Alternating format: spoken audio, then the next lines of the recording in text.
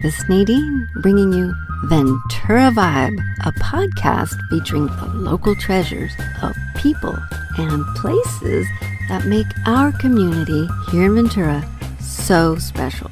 I've got interviews, games, community resources, and volunteer opportunities to get us connected. So let's get started. I'm back recording some new episodes from home. On today's show, I'll be interviewing Christine Burke, community leader and co founder of a local nonprofit. Uh, I will resume the game segment. We all need a little fun back in our lives. And we'll see if there's any volunteer opportunities in the community chest segment.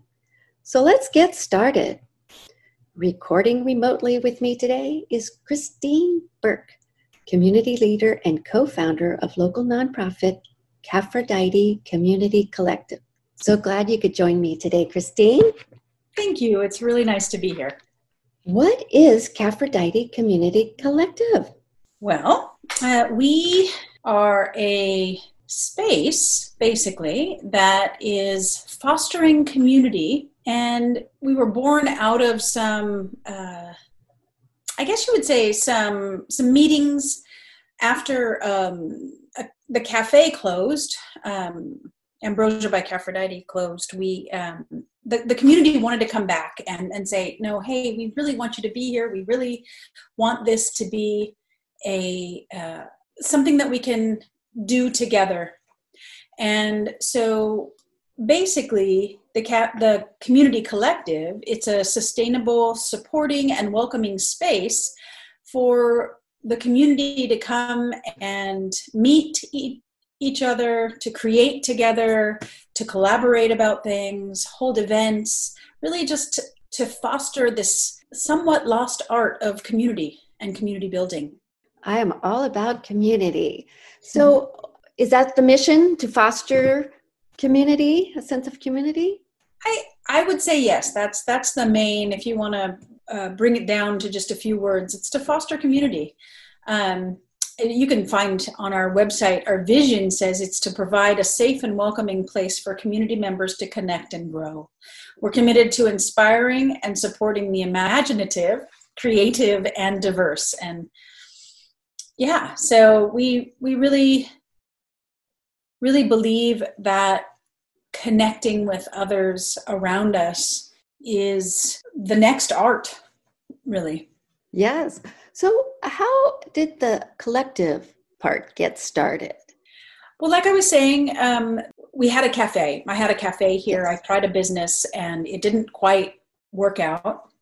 And the the community was very sad and and said, "Hey, you know, how do we keep you open? How do we keep you open?" And I said, "Well, I think really the only way for this space to stay open is for us to keep it open and not me to keep it open on my own. And so we held these open forums meetings in our in in the backyard of uh, what's now the collective, and people it, it nearly brought me to tears. People people were saying all of the things that I had wanted in the first place to have the, the actual business be, which was, you know, a safe space where people could meet and and do things together and and since everybody and, and do it in a su- sustainable way and do it with the um, with the thought that arts are really important that um, you know we could have music and we could have um, other kinds of performances, also book readings and those kinds of things. It, it grew out of those meetings that we had in the backyard. Ah, so, who are the people that were uh, supporting you? Are these employees? Are they neighbors? Are they uh, customers? yes, they're all, all of them. them. oh, wow, that's awesome. People, and it's really people from all over Ventura. It's not just people in Midtown, mm-hmm. which is where we're located. Um, we have people from all over Ventura County. Even we have, I have on my board um, a farmer who is from Fillmore, and a um, a writer who lives in Ojai, and um, a local teacher who works for the Ventura Unified, and a retired fireman who um, lives down uh, on the west side. So um, those are those are the people on my board, and then the community members are um, everything from just individuals who really want to support this kind of idea that um, food and um, art and community is a vital part of of life and and to foster that. So um, I was going to say, uh, we have people like individual people, and we have nonprofits, we have um, other just people who want to support it, even if they aren't necessarily having events here, which is what um, being a supporter is. Is is they they're entitled to have or gift. That's another element of our um, ideas, our ideals, I should say, is that we're part of a gift economy and that is where um, if you're supporting the cafe you can give gift one of your event times to a musician say or to a a teacher who wants to give a workshop on how to cook whatever they wanted to cook or wow. So the space is open for people to have a variety of experiences. So you've had what sorts of events have you hosted? Let's go with specifics. Okay. So we've had um, book readings we've had um, music events like concerts um, we have had fundraisers we have had um, just nonprofit meetings We've had um, workshops where people have learned how to make tortillas from scratch. Um, so you allow people into the kitchen? um, no, they didn't actually need the kitchen for oh. it. We cooked. We cooked in the kitchen, but um, the kitchen part is one of those things where if someone's interested in using the kitchen, they have to go through a training to to do it. But um, you also have to have uh, a health department uh, certificate and you know all kinds of fun stuff to I'm work sure. in a kitchen. Yes. And it's been a little bit difficult since the whole coronavirus opportunity has uh, overtaken our lives. I'm sure. What have um, been some of the challenges? Well, having events, yes, know, people gathering, um, people coming inside, that's been a difficulty. That we just allowed we just started allowing people to come back inside when we're open because we're also mm-hmm. open on saturdays as a cafe or as a not a cafe but a, a coffee shop with pastries and coffee drinks and and uh, sometimes like acai bowls and and little little breakfasty things and little lunch like things we have soup and and the, the like but um talking about some of the challenges with the uh, COVID restrictions and in your indoor space.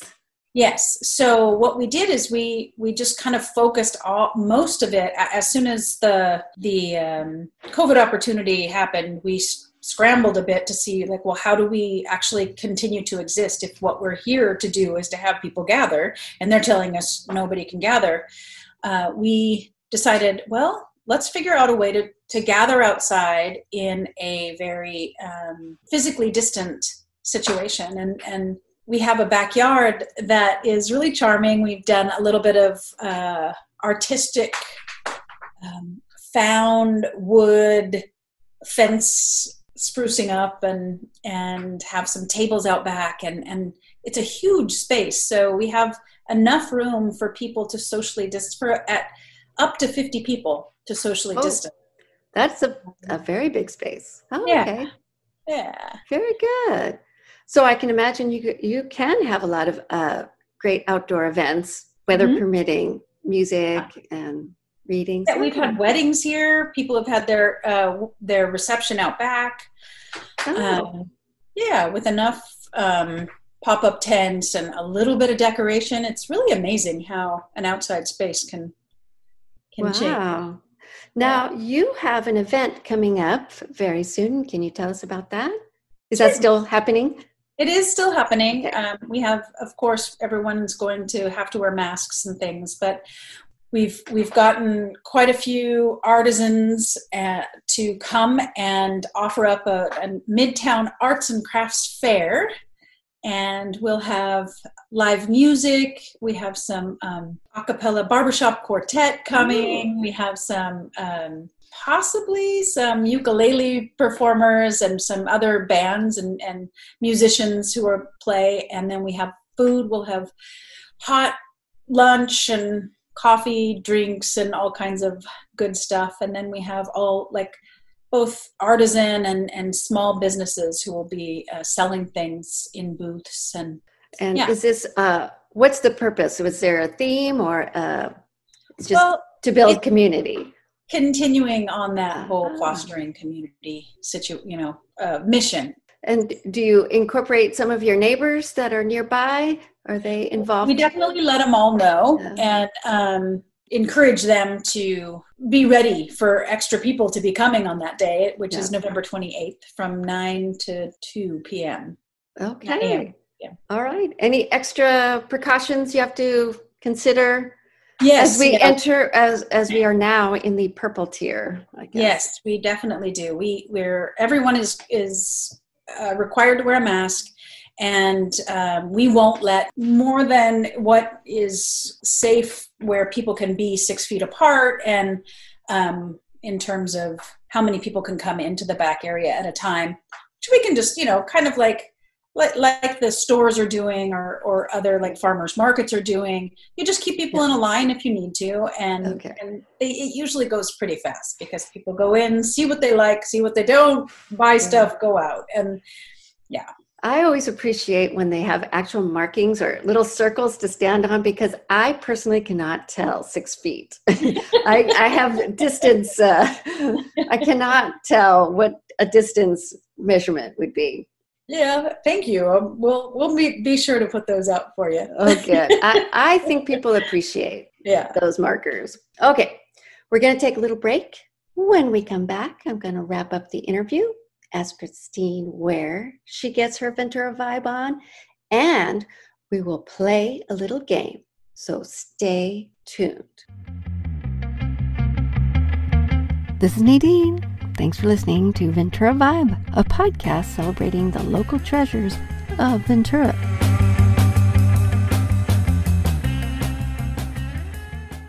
With me today is Christine Burke, co founder of Caffrodite Community Collective. We've been talking about uh, an event coming up in November. If people want to find out more about this event, where can they go for more details? Well, they can call us on 805 651 3884. Okay. Or they can find, uh, I believe it's on our website. If it's not, I need to get it on there right away. Definitely on our social media accounts. Did you just mention your uh, website? I missed it. The website is is www.caffrodite.com. Okay, very good. So I want I have a few more questions to ask you before we get into the game. Okay. Uh, I do want to know what is your vision for the future of the collective? Do you have a grand vision for how you'd like it to grow? Yes, I would love for community members to continue to see the worth of what we're offering here. I'd love to have events like um, study groups and and um, book readings and book clubs and and singing. In fact, we actually have a singing event here on Thursdays at twelve twenty every week um, and it's all voices are welcome and people just kind of drop in and drop out and we sing every every thursday at about 1220 um, wow. and, and really just invite my my hope is that people start to say well i would like to have this happen in the community and and i'd like to host it you know and they would then pick up those kinds of things so that um, the small group of volunteers that we have here are not doing all the well this is what could be here and this is what could be here. We really want feedback and we want interaction with the community. That so, sounds amazing. And I've, so, I've actually well, yes. sorry i've also been thinking about having um, regular kind of artisan type things in the backyard because i think you know supporting uh, the whole idea of that art can bring people together is um, it's just something that I've been thinking about for the future. Sounds like a great vision. So, we mentioned a little bit about the coffee shop. I want to know more about that. You have it on Saturdays. What? Mm-hmm. How does that work? So on Saturday mornings from eight to about noonish, we usually we stay open later if people are in there um, or if people are around and coming. Um, but we're we if the coronavirus would allow people to be inside, we would we would be encouraging that quite a bit right now. Um, but the coffee shop has eco gifts. It's sustainable. It's vegetarian. Um, a lot of plant, mostly plant based um, offerings. I shouldn't say mostly. They're all plant based offerings, um, like pastries, and um, you can order pies for your holiday gatherings or your family gatherings. Um, you can order pastries. Really. And does this all go back into supporting the collective? This Is all that... goes back into supporting the collective. Um, everything's volunteer run. We we don't have any employees as of yet. I think um, at some point it would not be a bad idea to have someone running the, the place who can actually make a living at because i believe that you know that whole ideal is that we have we have volunteers but it would be really great also to have to be able to support someone's livelihood through the through the cafe. So we have all kinds of we have organic coffees that are um, that are roasted here locally. All of our practices are sustainable even before they needed to be right? We have um, wow. paper straws we have art art local art and and art gifts and and sustainable types of gifts. Wow. So i do have a question. Mm-hmm. so as we talk about the food how does vegetarianism sustainability and the eco shop intersect? And how does it all relate back to a sense of community Ventura style. Ventura style, yeah. Well, you know, I grew up here in Ventura, and um, I moved here when I was six months. My mom moved me here when I was six months old. I didn't really have the capacity to do that myself. Um, um, and you know, we live at the beach, and our beach is really important to me. It's always been a very um, prominent part of our our community, and so uh, limiting the the plastic use and the um, always having paper to go boxes or paper cups really working towards no you know no waste. Yeah and and when we have food we also have um, like a lot of the food waste either goes to compost or goes to um, ranches where animals can actually eat the the leftover foods and yeah. That sounds great. The whole sustainability and eco gift shop and um, I believe brings an education element into our nonprofit, which um, is is something that many places could do, and and we're hopefully showing a way that other places can do this as well. Excellent. Excellent. Are you part of Surfriders uh, Ocean Friendly Restaurant? We we we are we were we are we are we were we haven't re-signed up for it but we do follow all of the the guidelines that the surfrider foundation excellent. Oh that's good. They were a, a, guest of mine on a previous show. Oh nice. I'm glad to hear that. You grew up in ventura and you've seen some changes. How has your idea of community changed over time? And what are some of the things that build a sense of community now in contrast when you were younger well, um, that's interesting. I I can answer that in the sense of um, when I was in my early 20s, I left Ventura and I was gone for about 10 years, maybe not quite 10 years, about nine years.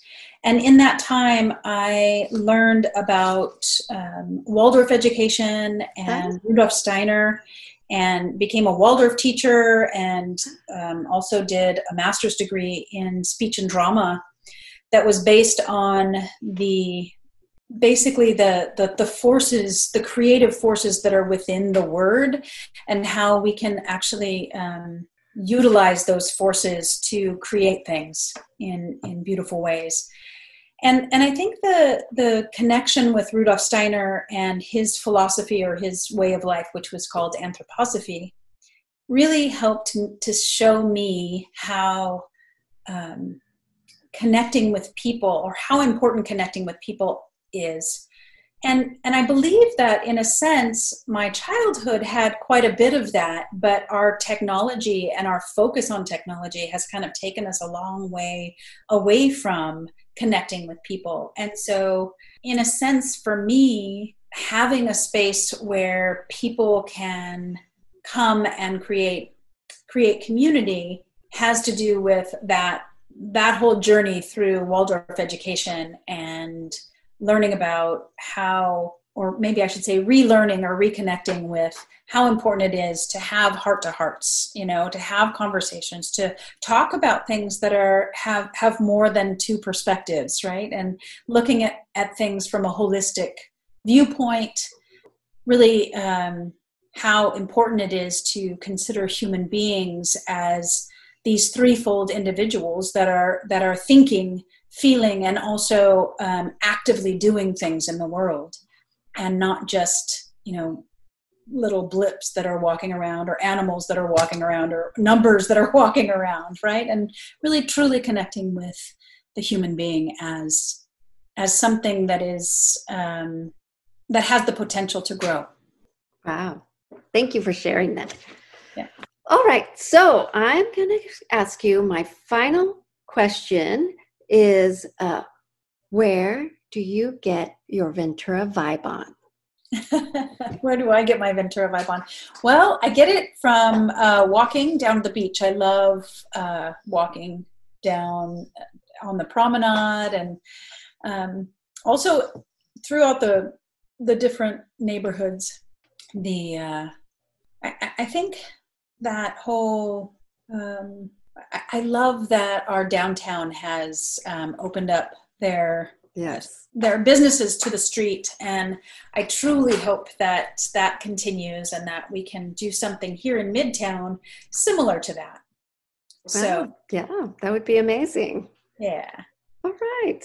So I am going to shift gears here, and now it is time for our game. Since Caffrodite Community Collective was born out of a coffee house, the game is somewhat coffee themed. This is fun. Are you ready? I'm ready. actually, I am calling it Coffee Klatch Crumble.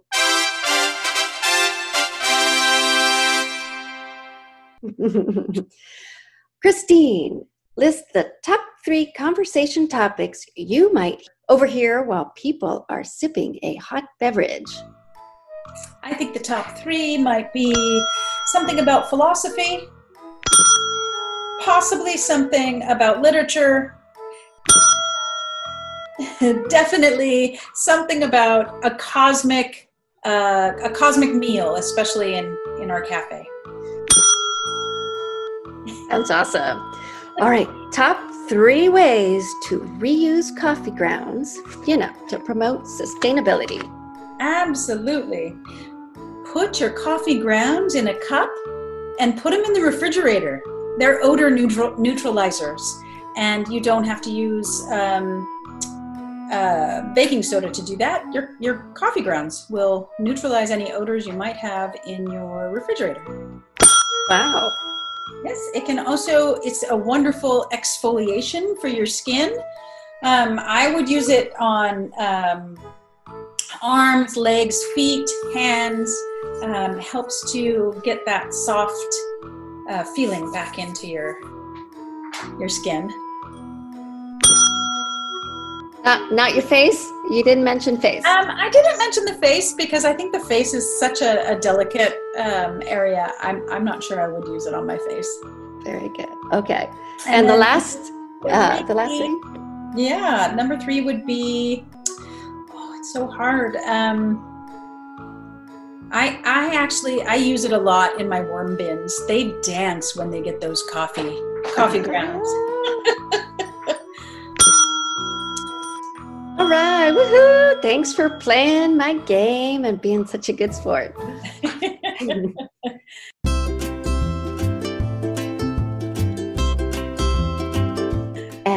now it's time for the community chest segment. In the past, I like to highlight opportunities for volunteering in the area. It's a little more challenging these days, but opportunities still exist. Christine, do you have opportunities in your organization? Absolutely. Um, we always are looking for volunteers who want to come in and work three to six hours on um, the days that we're op- the coffee shop's open. Um, so you can learn how to make coffee and or barista drinks. You can um, be a cashier. You can uh, work in the cleanup part. You can um, possibly even work in the kitchen, depending on whatever it is that you're interested in doing and your background. Um, yeah, and then you can also um, volunteer by spreading the word. You can actually take uh, flyers out for us and, and walk the neighborhoods or um, spread the word through email or social media. That's one way to volunteer. You can help with events. Um, yeah, those are my the three top volunteer opportunities we have. That sounds amazing. I'm gonna have you give the website one more time in case people want to check in and find out how to volunteer. Certainly, it's caffrodite.com, and that's spelled C A double F as in Frank, R O D I T E dot com. Awesome. Well, that's our show for today. I want to thank Christine Burke, co founder of Caffrodite Community Collective, for joining me today and helping to spread the community spirit here in Ventura. Thank you, Nadine. It's been a pleasure. It's been so much fun. Thank you so much for joining me. Thanks so much for listening to Ventura Vibe, a podcast dedicated to celebrating the community of Ventura, California.